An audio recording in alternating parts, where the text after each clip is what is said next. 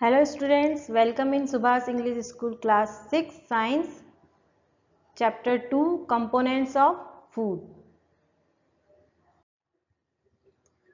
in previous lecture we have learn about nutrients and their test in this lecture firstly we discuss about balanced diet so what is balanced diet balance diet क्या होता है? Balance मतलब संतुलन और balance diet means संतुलित आहार।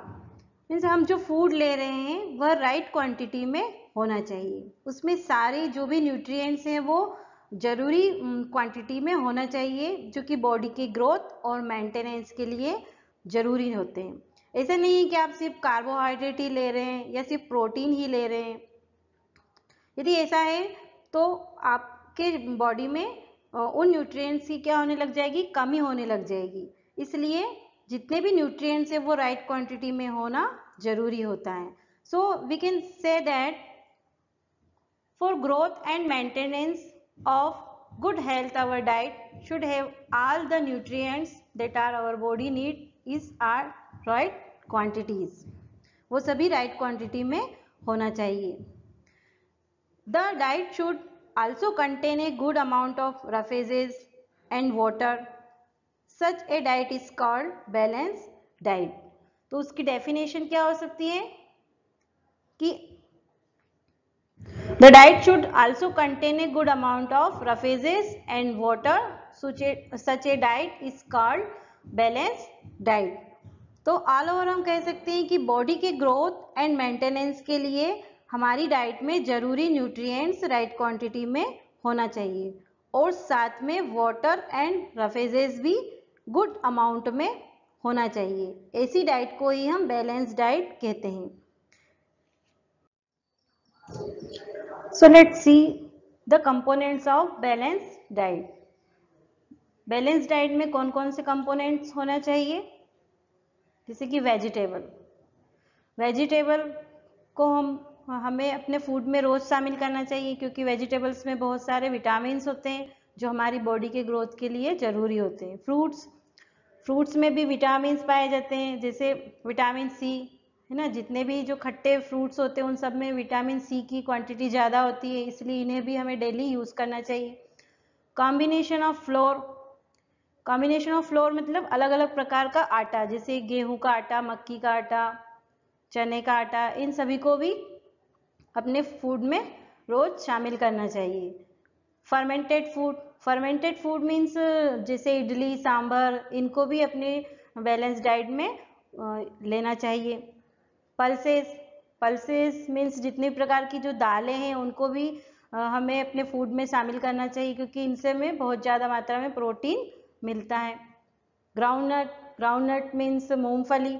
मूंगफली में भी प्रोटीन पाया जाता है तो इसे भी हमें यूज़ करना चाहिए। सोयाबीन सोयाबीन में भी बहुत मात्रा में प्रोटीन पाया जाता है। इसलिए इनको भी हमें किसी न किसी रूप में अपने आहार में शामिल करना चाहिए। Sprouted seed sprouted seed means जो अंकुरित मूंग चना होता है, उसे भी हमें अपने आहार में किसी न किसी रूप में लेना चाहिए। तो ये सारे जो कंपोनेंट्स हैं, इनको हमें लेने से हमारी बॉडी जो होती है, वो स्वस्थ होती है और हम कई प्रकार की बीमारियों से बचे रहते हैं। अभी तक हमने बैलेंस डाइट और बैलेंस डाइट के कंपोनेंट्स को पढ़ा है और उसमें बहुत सारे ज़रूरी न्यूट्रिएंट्स होते हैं जो कि हमारी बॉडी के ग्रोथ और डेवलपमेंट के लिए ज़रूरी होते हैं।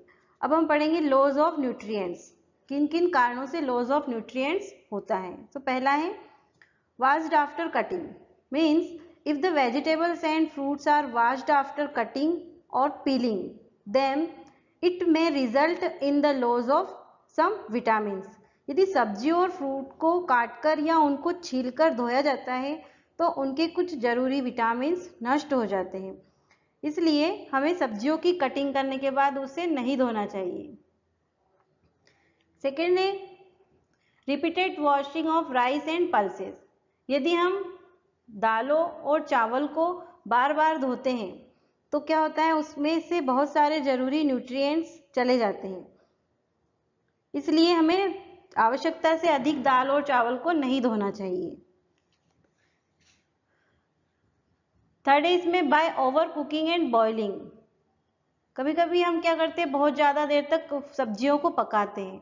तो उससे क्या होता है, उसके ज़रूरी विटामिन जैसे विटामिन सी बहुत जल्दी नष्ट हो जाता है और कई बार अपन क्या करते हैं, दूध को बहुत ज़्यादा देर तक उबालते हैं। तो उबालने से दूध के अंदर का जो प्रोटीन होता है, वो क्या हो जाता है, चला जाता है। इसलिए हमें दूध को सेवेंटी टू डिग्री सेंटीग्रेड तक ही बॉईल करना चाहिए। जब वो इवोपरेट होने लग जाता है तो हमें उसको बंद करना चाहिए। अगर दूध उबल जाता है मतलब उसमें का जो प्रोटीन होता है वो नष्ट हो जाता है। तो इन सभी सावधानियों को हमको ध्यान में रखते हुए अपनी कुकिंग को करना चाहिए।